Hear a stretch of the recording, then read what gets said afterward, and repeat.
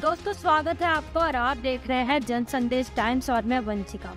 मन की बात के सौवे एपिसोड पर जनता व सौ के सिक्के की सौगात। 2014 के लोकसभा चुनाव के बाद जब से नरेंद्र मोदी प्रधानमंत्री बने हैं, तब से उन्होंने कभी भी कोई भी प्रेस कॉन्फ्रेंस नहीं की है। लेकिन उनका एक प्रोग्राम लोगों में खास जगह रखता है। इतना ही नहीं, वो इस प्रोग्राम के ज़रिए जनता को खुद से इस तरह जोड़ के रखते हैं कि वो जो कुछ भी इस प्रोग्राम में बोलते हैं, जनता वो उसे सुनती ही नहीं है, बल्कि उनकी कही हर एक बात मानती भी है। ये प्रोग्राम और कोई नहीं, बल्कि मन की बात है। इसकी शुरुआत आठ साल पहले 3 अक्टूबर 2014 में हुई थी। हर महीने के आखिरी रविवार को इस कार्यक्रम का प्रसारण रेडियो पर किया जाता है, जिसका जनता को बेसब्री से इंतज़ार होता है। मन की बात प्रधानमंत्री द्वारा आयोजित एक भारतीय रेडियो कार्यक्रम है, जिसमें वह All India Radio, DD National और डीडी न्यूज़ पर देश के लोगों को संबोधित करते हैं। मन की बात कुल 30 भाषाओं में प्रसारित होता है। इसकी स्थापना के बाद से इससे कम से कम एक बार में सौ करोड़ से अधिक लोगों ने सुना है। तो इस बात का प्रतिबिंब है कि मन की बात की पहुँच कितनी दूर तक जा चुकी है। इस कार्यक्रम के चलते बेटी बचाओ, बेटी पढ़ाओ जैसी योजनाओं की शुरुआत की थी। इतना ही नहीं, कोरोना के दौरान मन की बात में प्रधानमंत्री ने कोरोना को लेकर चिंता जताई थी।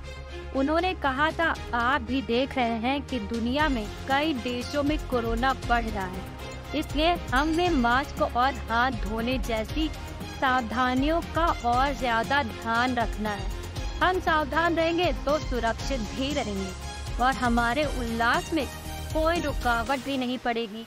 आज वन की बात प्रोग्राम का सौवा एपिसोड है और ये एपिसोड खास भी होने वाला है क्योंकि इस खास उपलब्धि पर सरकार की ओर से सौ रुपए का सिक्का जारी किया गया है। इस सिक्के पर माइक्रोफोन के साथ मन की बात लिखा हुआ है, जो कि चार धातुओं से मिलकर बना है। बात करें सौ के सिक्के की तो सौ के सिक्के की गोलाई चौवालीस मिलीमीटर है, जिसका वज़न कुल 35 ग्राम होगा। सिक्के के अग्र भाग में अशोक स्तंभ होगा और नीचे सत्य में जैते लिखा होगा। सिक्के के दूसरे भाग पर मन की बात के सौवीं कड़ी का प्रतिबिंब होगा, जिसमें माइक्रोफोन की तस्वीर होगी। आमिर खान ने भी मन की बात प्रोग्राम की तारीफ़ की थी। प्रधानमंत्री नरेंद्र मोदी का रेडियो प्रोग्राम एक लाख बूथों पर प्रसारित किया गया है। मन की बात के ज़रिए प्रधानमंत्री भारत की जनता और घर घर तक पहुँचना चाहते हैं, जिससे वो जनता से जुड़े रहे और देखा जाए, हो भी यही रहा है। देखने वाली बात अब ये होगी कि जनता को सौवे एपिसोड पर सरकार की तरफ़ से दी गई ये सौगात कैसी लगती है?